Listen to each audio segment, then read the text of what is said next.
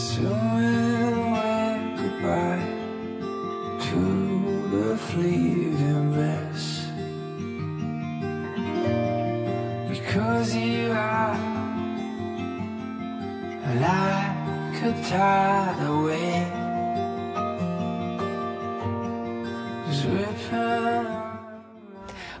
Bentrovati, oggi con Meraviglie di Puglia vi porterò con me a conoscere meglio Manfredonia, una cittadina che si sviluppa sul mare a pochi chilometri dal Gargano.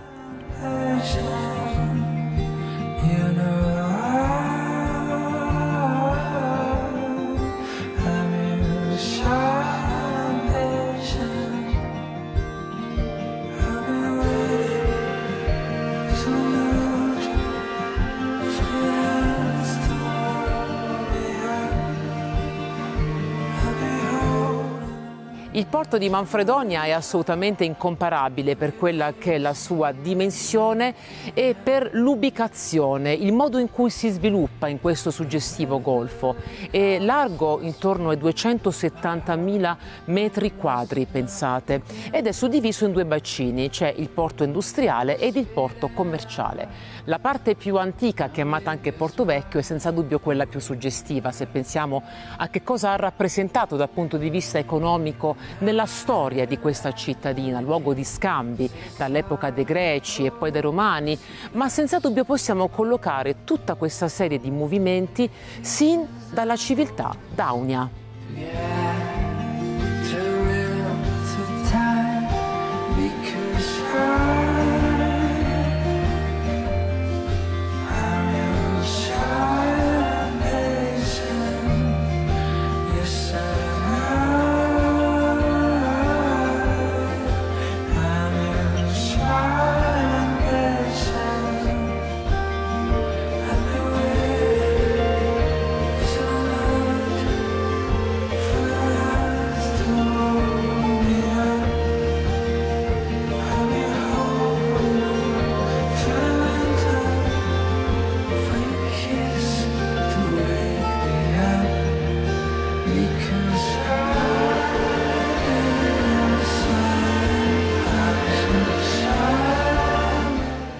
Il porto è stato inaugurato a luglio 2013, ci troviamo nel golfo di Manfredonia. Vanta, pensate, più di 700 posti barca, è pronto, prontissimo anzi, ad accogliere tantissimi turisti che scelgono Manfredonia appunto come meta delle proprie vacanze.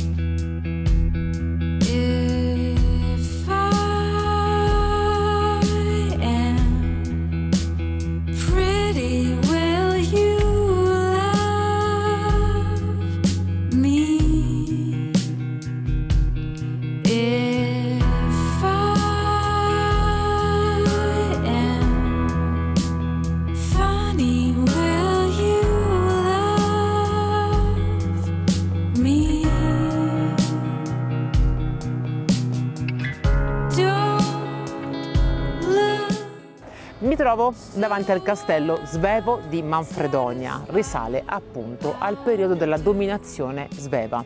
È una costruzione tipicamente militare, tant'è che fu eretta per difendere quella che era la cittadina all'epoca fondata da Re Manfredi dalle varie aggressioni. Non ci dimentichiamo che anche Manfredonia fu assediata purtroppo dai turchi intorno al 1620.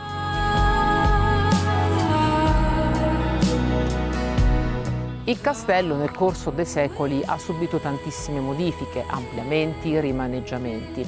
Il progetto iniziale fu curato nel 1279, anno al quale risale appunto l'edificazione del castrum ad un architetto francese, Pierre d'Angicourt, che come noto professionista dell'epoca rimase per tantissimi anni a servizio degli svevi. L'architettura che allo stato attuale possiamo ammirare è piuttosto imponente e all'interno venne inglobato il corpo preesistente.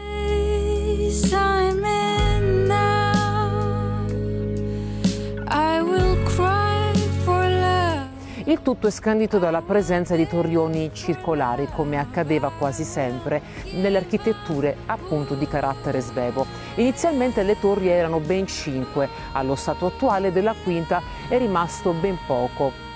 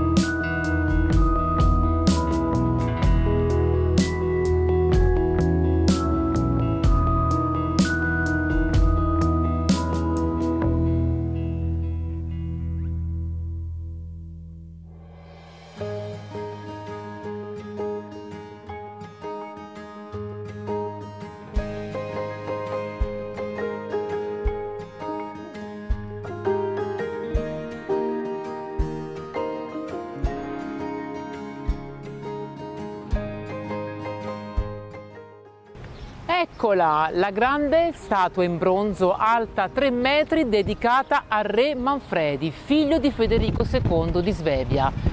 Perché si chiama Manfredonia? Perché fu appunto Manfredi a fondarla il 23 aprile del 1256, a seguito dello spopolamento dell'antica città di Siponto che avvenne nel 1223 a causa di un fortissimo terremoto.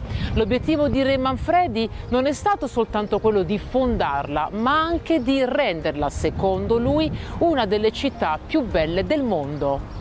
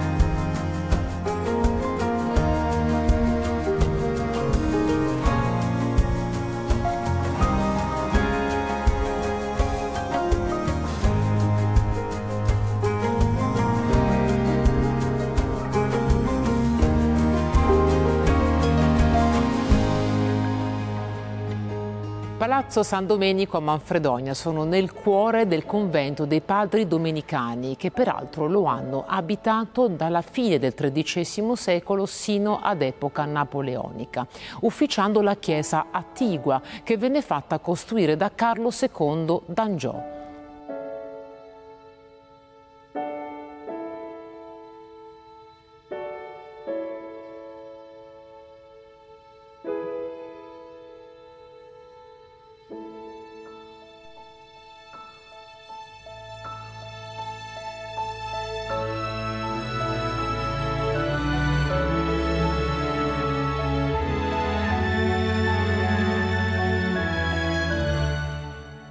Chiostro è piuttosto ampio, a pianta quadrata, decorato dalla presenza di colonne massicce a base quadrata che si susseguono in modo modulare sostenendo delle arcate a tutto tondo e volte a crociera.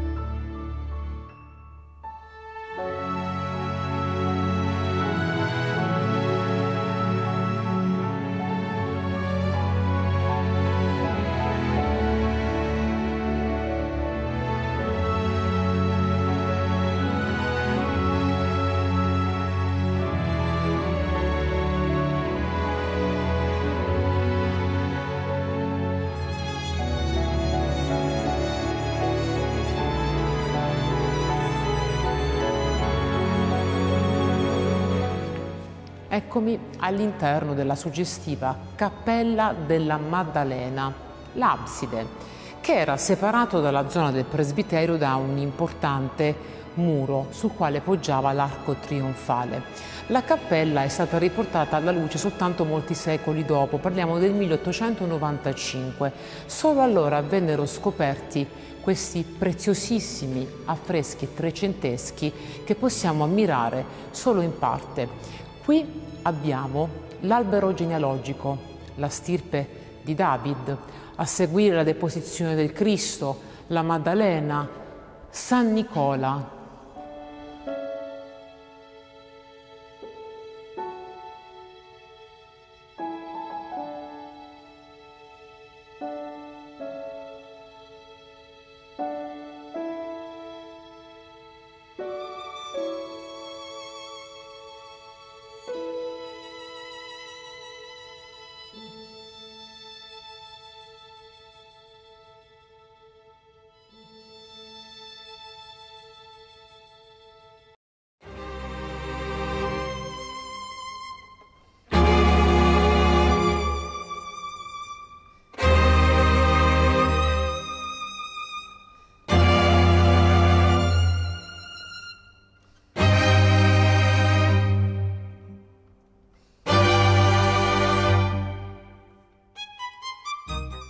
All'interno della cappella sono custoditi dei reperti archeologici di grande importanza.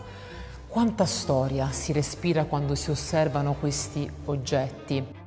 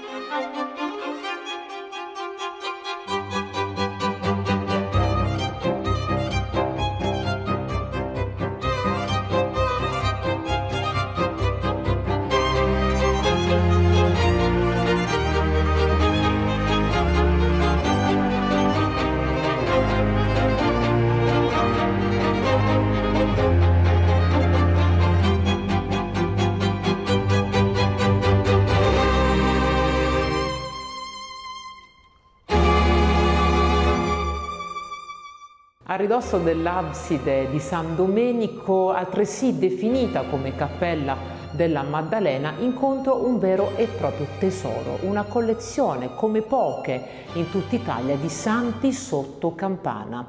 Ci sono immagini riportanti San Michele Arcangelo, San Luigi Gonzaga, San Ciro Martire, San Rocco e tanto altro. C'è davvero da perdersi, è uno scrigno di storia e di arte.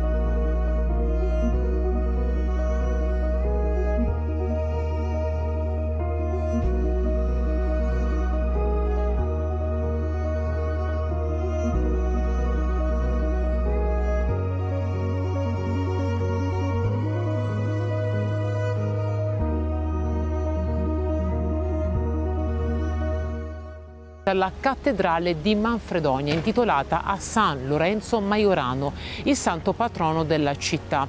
All'interno di questo duomo sono conservate le reliquie del santo e la celebre icona della Madonna di Siponto, alla quale la comunità è fortemente legata.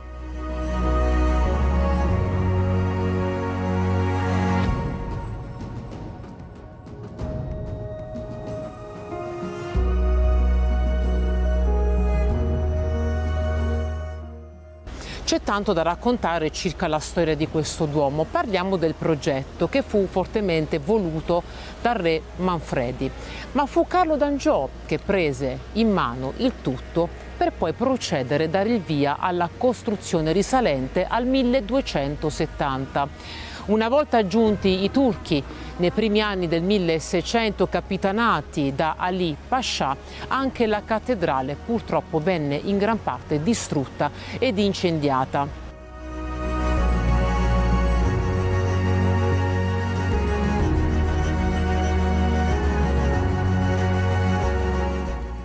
Alcuni anni dopo l'attacco dei turchi si pensò a ripristinare la cattedrale.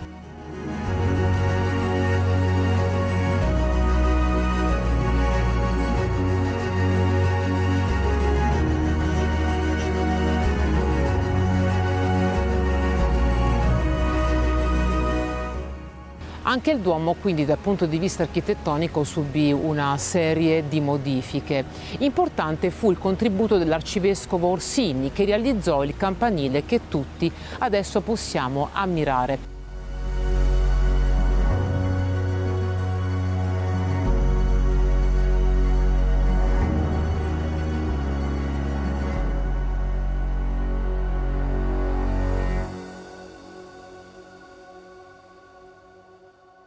La facciata è piuttosto classicheggiante ed è caratterizzata dalla presenza imponente della statua realizzata interamente in mammo di Papa Giovanni XXIII.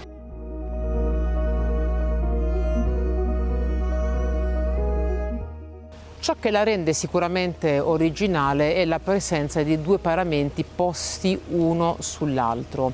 Come elementi decorativi circa la facciata, quello che balza sicuramente in primis ai nostri occhi è la presenza delle statue che riportano ad esempio San Pietro, San Paolo, San Lorenzo Maiorano ed altri ancora a seguire.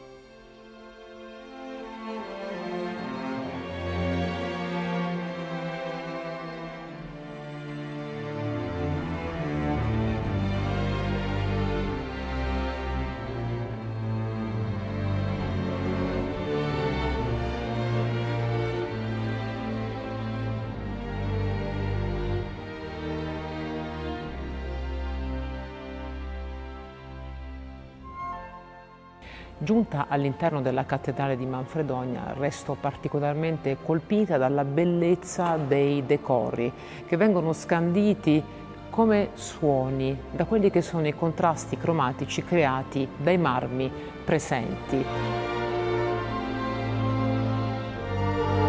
Marmi presenti all'interno delle cappelle poste lungo l'unica grande navata che caratterizza il corpo centrale della cattedrale. Gli stessi marmi li possiamo ammirare nella zona dell'altare.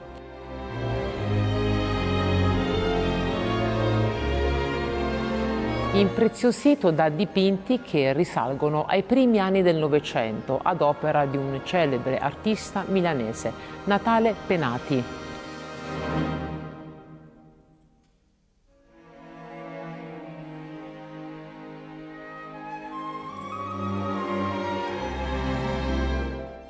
Subito a ridosso dell'altare incontriamo le due cappelle che ospitano il Sacro Cuore di Gesù e San Giuseppe.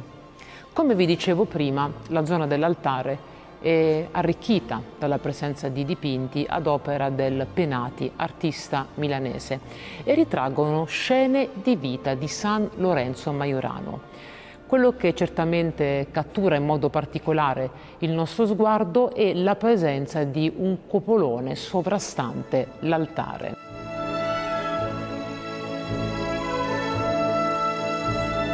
È lungo le vele che ritroviamo proprio all'incrocio dei vari archi che poggiano sulle bellissime colonne che decorano questo spazio riservato all'altare, incontriamo dipinti i quattro evangelisti.